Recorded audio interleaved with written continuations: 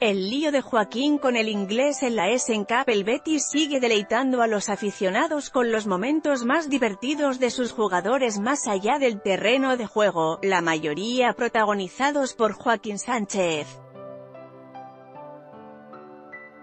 Uno de los últimos ha sido este fin de semana, cuando el capitán del equipo explicó una anécdota que le pasó durante la Cup que el equipo ganó en Alemania. En el vídeo, Joaquín explica que se lió a la hora de realizar el sorteo de campos porque tenía que elegir un color en inglés, yellow, amarillo, o blue, azul. Con la confusión, cuando eligió amarillo y ganó el sorteo eligió el campo sin fijarse, con tan mala pata que se quedó con la parte donde tocaba el sol.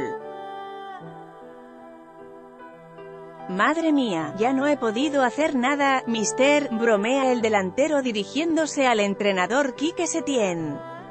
Las imágenes se grabaron en Alemania, donde Joaquín celebró su 37 cumpleaños junto a sus compañeros de club, y repartió pastel entre jugadores y equipo técnico después de hacer un emotivo discurso. Cumplir 37 años y seguir en activo y en un equipo como el de este año, que vamos a jugar la UEFA y hay muchas esperanzas e ilusión, me hace mucho más feliz, dijo el delantero antes de agradecer el apoyo de todos sus compañeros.